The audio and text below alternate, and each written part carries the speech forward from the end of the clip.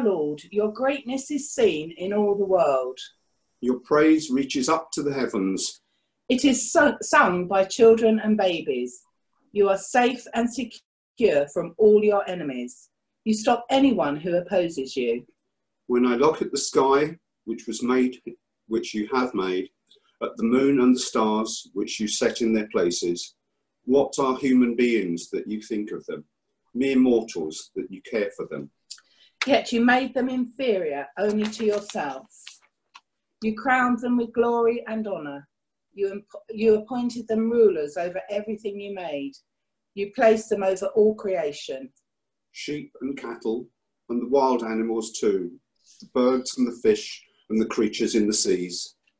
O Lord, our Lord, Your greatness is seen in all the world.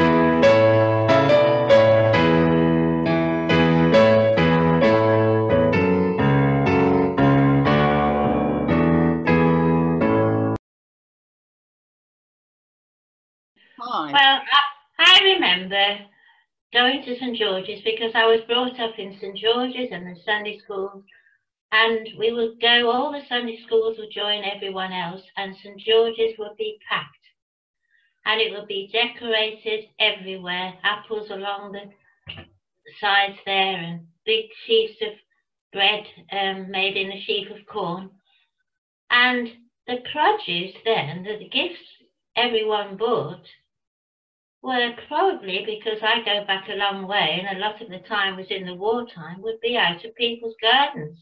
Their very best carrots, parsnips, potatoes, tomatoes, or whatever, big cabbages, big marrows. And what I remember probably was the smells of everything, the chrysanthemums then and dahlias, which perhaps we don't use quite so much in these days, but the smells of of the harvest and the uplifting hymns, um, I remember so well. And in those days, it was a very, very big, well, lots of Sunday schools, at different times in the day, and to come together like that and see, hear all the children singing and their parents. And St George's, there wouldn't be a space for anyone in those days, whatever service you went. And it's the smells and the singing that I remember. And thinking about it, people who bought their produce then, it was quite a sacrifice for them to bring their their food because food is very short. I remember when we started bringing tins and things like that, it first seemed very, very strange to me, having been brought up with the idea of bringing stuff, fresh stuff. But obviously, we live in different times now. But it's happy memories of, of harvest. And then when I was a bit older, it, um, I was allowed to go and help someone to decorate the pulpit, which was a great honour because all the ladies in St George's had their own little domain that they decorated and I was allowed to go and actually do some of the decorating for the pulpit, which is a big step forward. So I have happy memories and uplifting times of uh, harvest. My earliest memories of harvest is probably from about 50 years ago. I can't believe it's that long, but it definitely is. Myself and a few friends used to sing in the church choir, and the three of us were asked to sing at the harvest supper. Well, this harvest supper took place in the church hall. And I only remember adults being there, apart from us three. I don't remember any children being there. It was in the evening, I believe. and the stage in the hall, from a child's point of view, seemed to be full of produce. It was totally full. It was very colourful and it just looked beautiful. Anyway, we sang um, All Things Bright and Beautiful and All Good Gifts and I'm actually glad I was muted for the last one because my voice has definitely got lower, so not so good. Um, I think we also sang one other song, but I actually can't remember um, which one that was. Um, but my overriding memory is that of um, the nervousness I felt when I was asked to sing. Um, but it's a good memory. Yeah, that's good. Um, well, unlike Pam and Maddie, I don't have um, enormously detailed memories of uh, Harvest Festival in, in our church. Um, when I was small, I lived in South Wales and we went to um, a little, uh, quite a poor Methodist church. And uh, I don't remember any um, real involvement by the children apart from bringing food up to the, uh, up to the, uh, the altar. And um, I don't remember any tins either. Uh, there were no um, sort of non-perishable foods at all. It was all it was all uh, things that we bought uh, from the um, from the garden or from the greengrocers. Uh, I remember one hymn, and that was "We plough the fields and scatter." That's a, a good favourite. But um, I, th I, think nowadays the children seem to be, well, certainly from my experience, um, a lot more involved now in what's going on in the service, and I think that's a wonderful thing. Um, but uh, you know, maybe my my memories probably weren't typical uh, because they were in a very small church in South Wales and maybe a bit different up here. But um, that's my memory anyway. Um, certainly, um, I, I've had some really nice memories. I remember um, in my church back in Northern Ireland, we used to have what was called the Mouseman bread.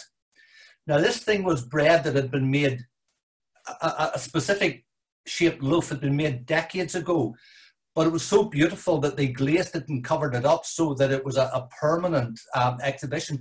And they called it the Mouseman loaf because there used to be a, a furniture designer in, in, in England um, called Robert Thompson. He worked in the late 19th, early 20th century, and everything that he ever made, he put a little mouse on it. And he was known as Mouseman. And this piece of bread had a little bit of mouse on it, a little mouse on it, almost as if it was eating.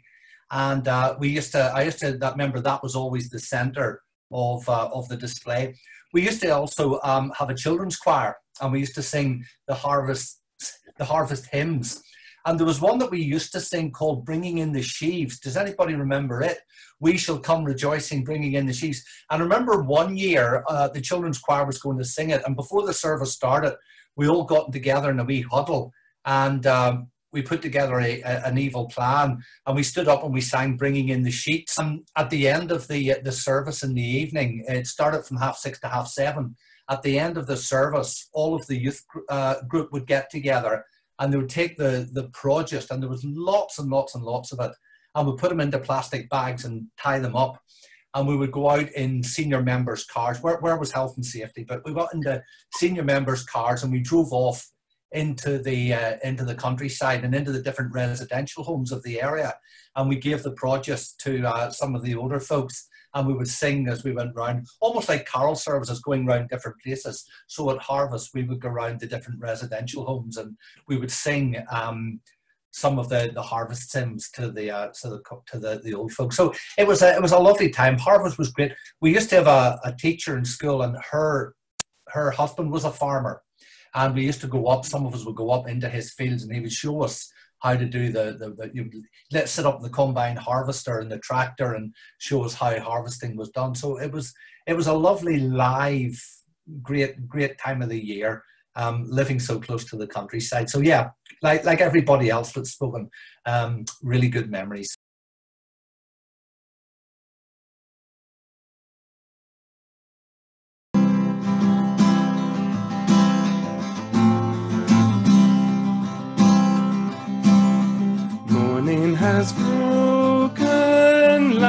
First morning. Blackbird has spoken like the first bird. Praise for the singing, praise for the morning, praise for them springing fresh from the word.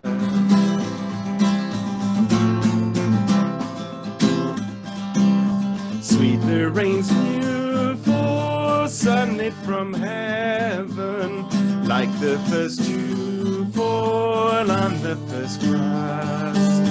Praise for the sweetness of the wet garden, sprung in completeness where it began.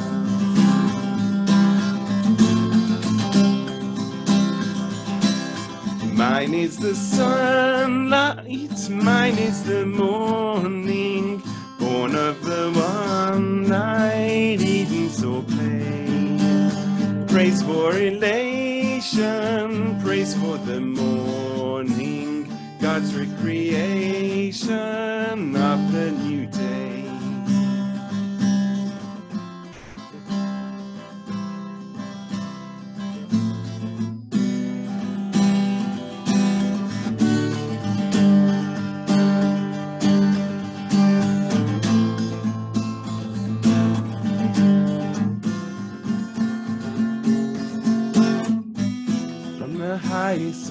heights to the depths of the sea. Creation revealing your majesty. From the colors of fall to the fragrance of spring. Every creature unique in the song that he sings, all exclaiming, indescribable, uncontainable. You place the stars in the sky and you know them by name. You're an amazing God. All powerful, untamable, awestruck we fall to our knees as we humbly proclaim. You're an amazing God. Told every lightning bolt where it should go? Or seen heavenly storehouses laden with snow? Who imagined the sun and gives source to its light? Yet conceals it to bring us the coolness of night. None can fathom, indescribable, uncontainable. You place the stars in the sky and you know them by name.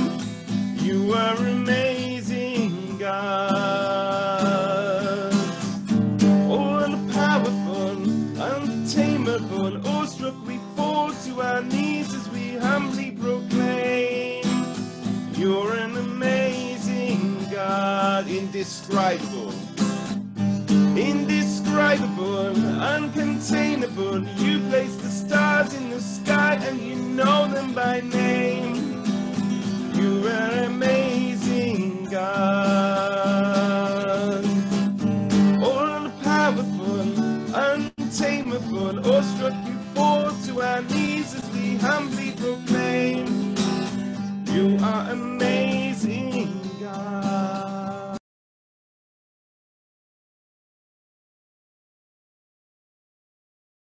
Um, the first reading is from Paul's letter to the Philippians, chapter 3, second part of verse 4 to 14. So that's Philippians chapter 3. If anyone thinks he can trust in external ceremonies, I have even more reason to feel that way. I was circumcised when I was a week old. I am an Israelite by birth, of the tribe of Benjamin, a pure blooded Hebrew. As far as keeping the Jewish law is concerned, I was a Pharisee, and I was so zealous that I persecuted the church. As far as a person can be righteous by obeying the commands of the law, I was without fault. But all those things that I might count as profit, I now reckon as loss for Christ's sake. Not only those things, I reckon everything as complete loss for the sake of what is so much more valuable the knowledge of Christ Jesus my Lord. For his sake, I have thrown everything away. I consider it all as mere refuse, so that I may ga- gain Christ and be completely united with him. I no longer have a righteousness of my own, the kind that is gained by obeying the law. I now have the righteousness that is given through faith in Christ, the righteousness that comes from God and is based on faith. All I want to know is to know all I want is to know Christ and to experience the power of his resurrection, to share in his sufferings and become like him in his death, in the hope that I myself will be raised from death to life, running towards the goal. I do, I do not claim that I have already succeeded. Have I gone on too far? No. Sorry, I do not claim that I have already succeeded or have already become perfect. I keep striving to win the prize for which Jesus Christ has already won me to himself. Of course, my brothers, I really do not think that I have already won it. The one thing I do, however, is to forget what is behind me and do my best to reach what is ahead.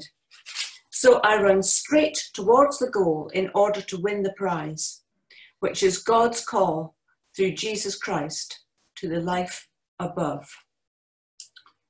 This is the word of the Lord. Thanks be to God. The second reading is Matthew chapter 21, verse 33 to the end. Matthew chapter 21. The parable of the tenants in the vineyard. Listen to another parable, Jesus said. There was once a landowner who planted a vineyard, put a fence around it, dug a hole for the winepress, and built a watchtower. Then he let out the vineyard to tenants and went on a journey. When the time came to gather the grapes, he sent his slaves to the tenants to receive his share of the harvest. The tenants seized his slaves, beat one, killed another, and stoned another. Again, the man sent other slaves, more than the first time, and the tenants treated them the same way. Last of all, he sent his son to them. Surely they will respect my son, he said. But when the tenants saw the son, they said to themselves, This is the owner's son. Come on, let's kill him and we'll, we will get his property. So they seized him, threw him out of the vineyard, and killed him. Now, when the owner of the vineyard comes, what will he do to those tenants? Jesus asked. He will certainly kill those evil men, they answered, and let the vineyard out to other tenants who will give him his share of the harvest at the right time. Jesus said to them, Haven't you ever read what the scriptures say? The stone which the builders rejected as worthless turned out to be the most important of all. This was done by the Lord. What a wonderful sight it is. And so I tell you, added Jesus, the kingdom of God will be taken away from you and given to people who will produce the proper fruits. The chief priests and the Pharisees heard Jesus' parables and knew that he was talking about them. So they tried to arrest him, but they were afraid of the crowds who considered Jesus to be a prophet. This is the word of the Lord. Thanks be to God. Um, and say good morning. Uh, and for those of you viewing this on YouTube, I'm David, uh, and I'm one of the readers, one of the licensed lay ministers for Kidderminster East. And today, you are joining us in the room for a very special occasion. Not only is it harvest, it's actually our birthday. We are six months old today. This is the 26th continuous Kidderminster online church service since we planted this congregation way, way back on Easter Day 2020. Um, when this thing called the pandemic was just starting. So, congratulations and thank you to all the leaders and the preachers and the prayers and the readers and the musicians and the hosts and the children's workers and the administrators and the phone callers and the WhatsAppers and the Facebookers who have made this amazing church possible today. Now, today it is all about you you, the, the congregation of this church, um, uh, and you, oh, and you, and don't forget about you. And if you're on page two, you as well. And I don't want to talk too long um, because we're going to use breakout rooms uh, and small discussion groups a little bit uh, later in this sermon. And I'm going to ask you uh, to look at two questions based on today's readings, but really focused on this online congregation at the minute. They're related to the, the wider parish questionnaire, but they're also different. I'll, I'll explain why that is. And they definitely do not replace that questionnaire. So do, do go online, do talk to Karen, do get that questionnaire, which is about the future uh, of the face-to-face, the future of where we might be going as a parish. Um, so here they are, if you just let me share my screen.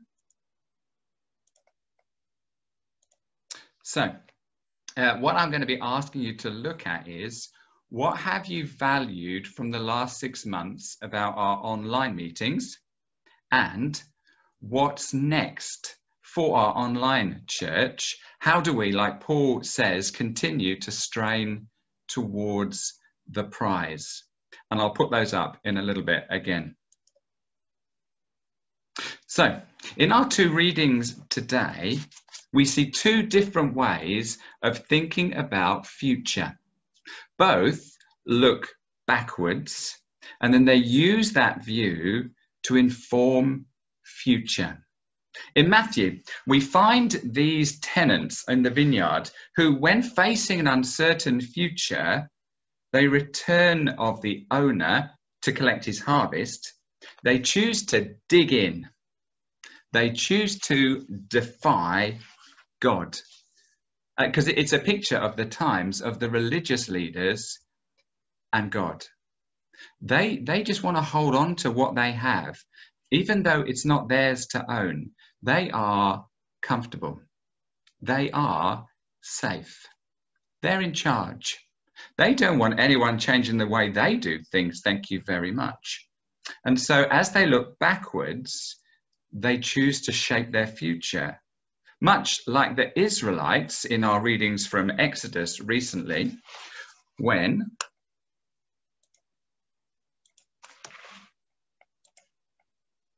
share that. When they keep looking back to Egypt to inform their future going ahead, the opposite way to which God was actually asking them to go. And then we have Paul talking in Philippians. He also looks backwards, but he has no doubts about where he is going for his future. What gain I had, I now count it but loss for the sake of Christ. For forgetting what lies behind, I strain forward to what is ahead. I press on towards the goal, the upward call of Christ. So he puts his confidence in Christ as he faces his uncertain future, that righteousness that just depends on faith in God. So we have these two images. Let me bring them up for you again.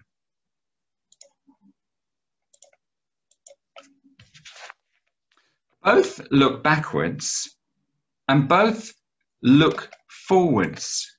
One is focused on holding on to the past, and one puts faith in God for the future. And, and so to our church here on our sixth month birthday, we still continue to face an uncertain future. What we planted here in March on Easter Day in response to the closure of churches has grown into something amazing. In worship, in learning, in teaching, in prayer, in singing, in community, in friendship. Something special in its own right. And for those of us, and there are very many sitting here as I look around the room, those of us who cannot yet attend our physical churches, those who cannot yet attend the physical churches, because maybe your church is too small, or maybe you feel vulnerable, or maybe you're just not ready to return yet. This is your church. So today, I'm asking you those two questions.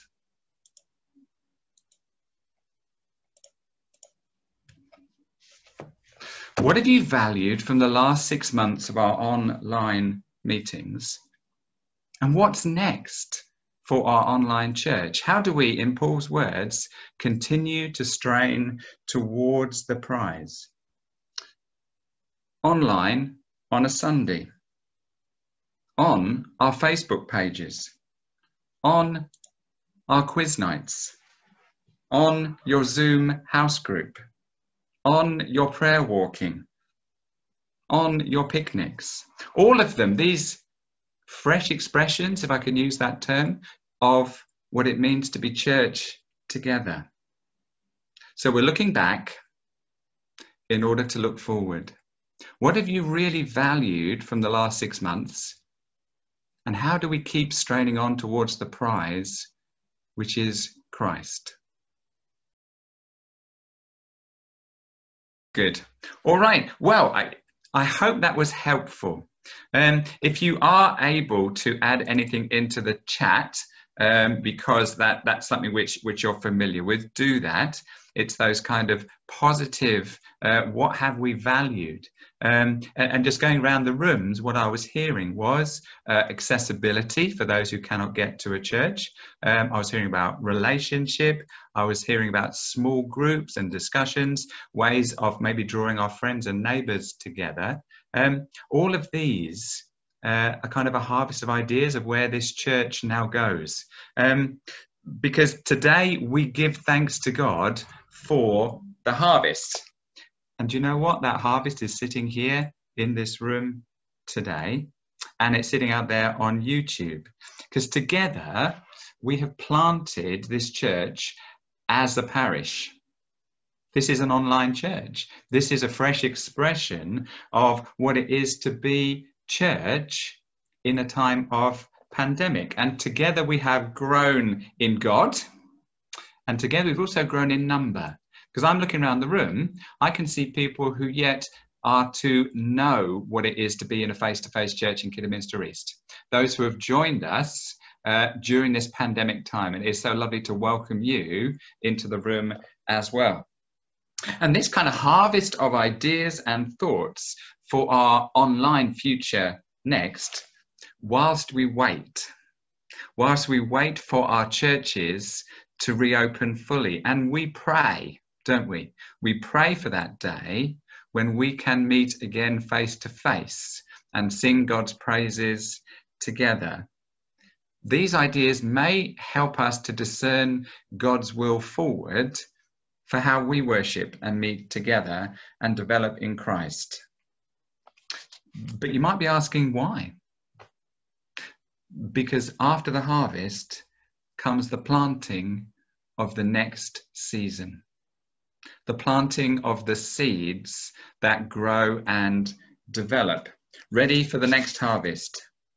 And so we look backward and we look forward.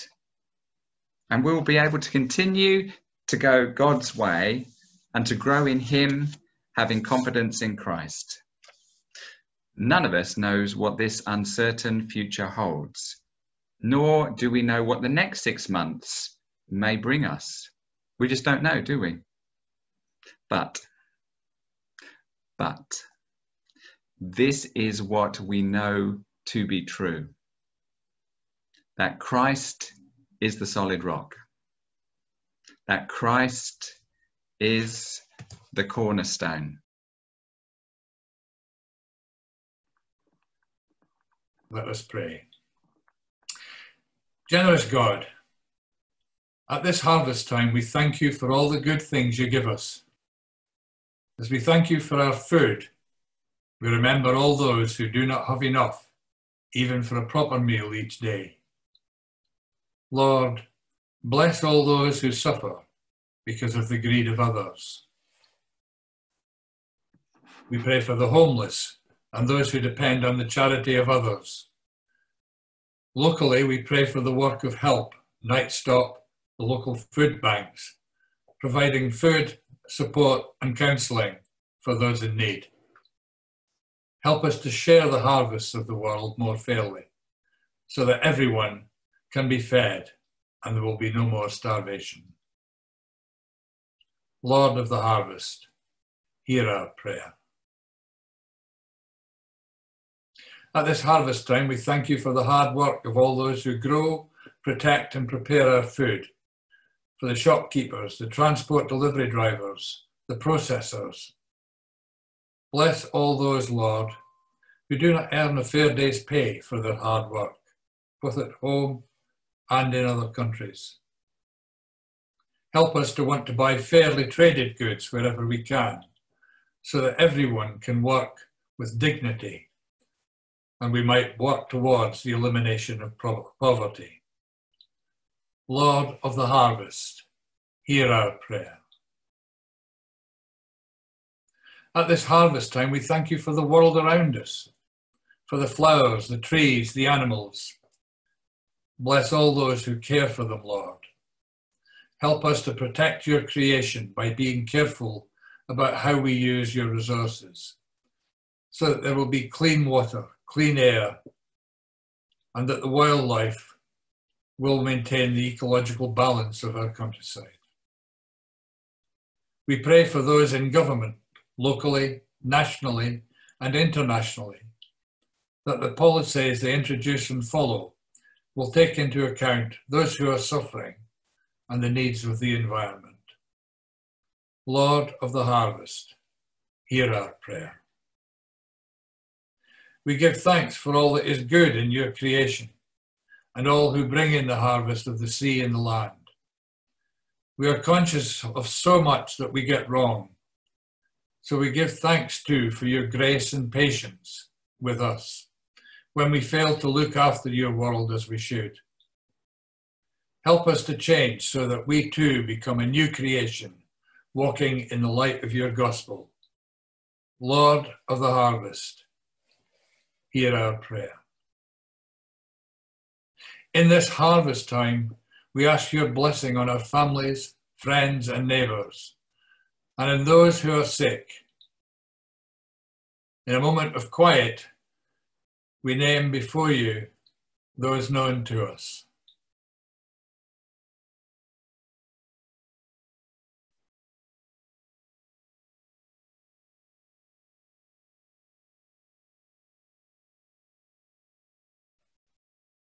We pray for those whose lives have been gathered into your presence, whose work here is done. Help us to recognize the importance of just relations and community and help us to become good stewards of all you continue to give us.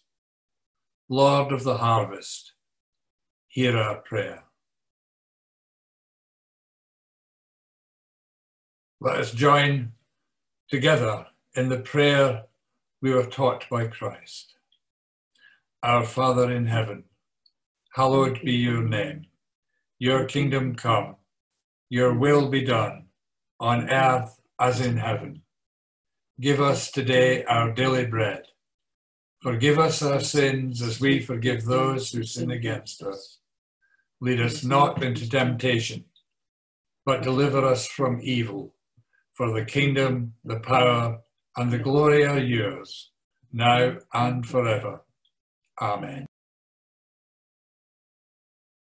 Our final blessing of this morning, or this afternoon as it is now, um, is a, a, a visual thing.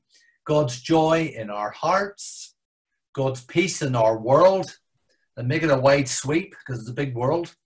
And may God's love be known among us. And either touch palms or hold hands, or maybe reach out to the screen if you'd like to do it that way.